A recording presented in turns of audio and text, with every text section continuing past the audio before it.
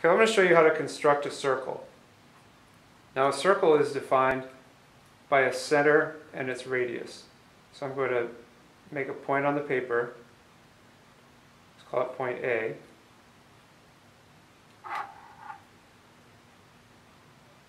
And then, this is called a compass by the way, and this is an essential tool for construction. And there are different varieties of a compass. This one is a little bit fancier. Um, as you can see, it's uh, made of metal completely, and also the way you adjust it is by turning this dial in the middle. So it's not going to open and close when you don't want it to. Uh, there are some other designs where you just kind of pull on one side to, to make the angle different. The problem with those is they tend to move while you're working with them and it makes it hard to do constructions. There's another type of compass that is kind of flat and you basically put your finger on the center point and then spin it around and that works very well too. So here's how you draw a circle. You put the point of the compass at the center of the circle and you kind of push down a little bit so it pokes through the paper. Be careful you're not doing this on your mother's favorite table because she might be mad at you. Put a hole in it.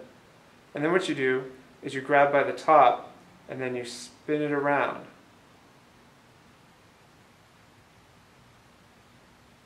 And you have to be very careful when you do this.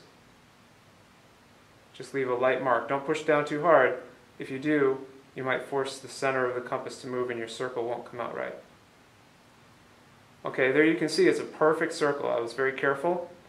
And the reason why we use a compass in constructions is for measuring. This distance between the point and the pencil lead doesn't change, so it's very useful for making accurate measurements of length.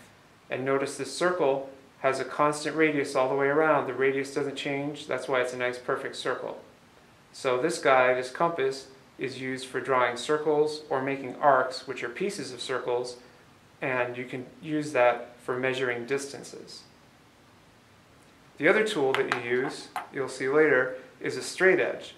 Now this is a ruler, but I only use it because it's easy to draw straight segments along the edge. I don't use it to measure the distance of anything. That's what this compass is for. This compass is way more accurate than what you can do by reading off the numbers here.